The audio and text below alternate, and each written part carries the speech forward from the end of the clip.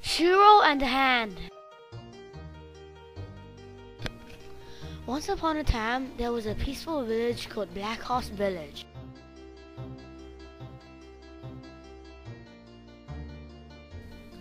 In the village, there was a boy called Shiro.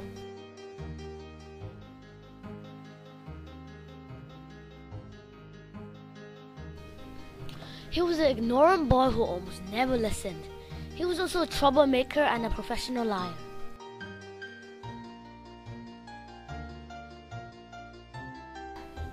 In the east of the village, there was a forbidden area called White Horse.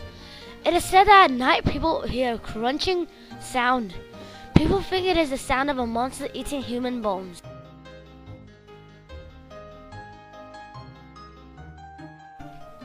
One day, Shiro was taught about White Horse and how it was a forbidden place.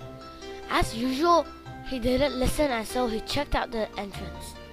He was very curious, so he went in.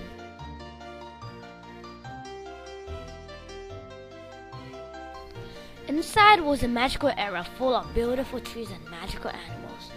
While Shiro was enjoying the sight, he didn't realize the shadow covering him.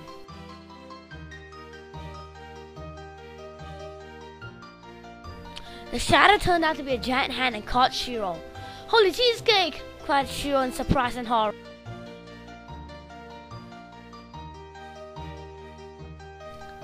Shiro was brought to the hand's house. The hand put the screaming boy into a room. Inside the room, Shiro met an elf called Pixel. It was a boy.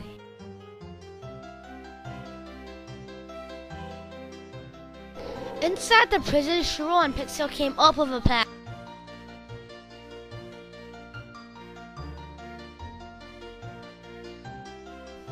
When the hand was hanging outside the room, Pixel told the hand that if he let them out, they would work for him.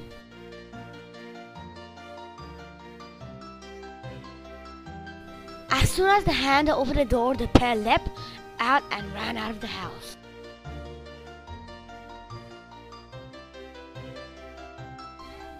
The hand chased them around White Horse until it cornered our heroes.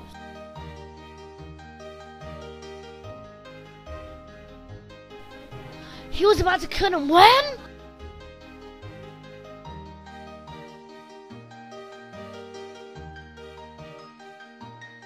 Stop! pleaded Shiro and Pixel.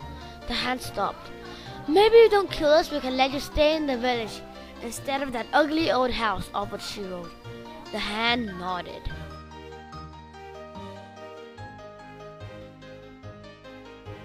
Soon, the hand was a good member of Black Horse Village.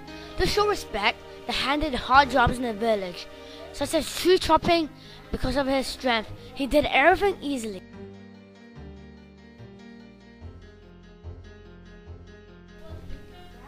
Meanwhile, Shiro, who had learned his lesson, was now a sensible boy who always listened.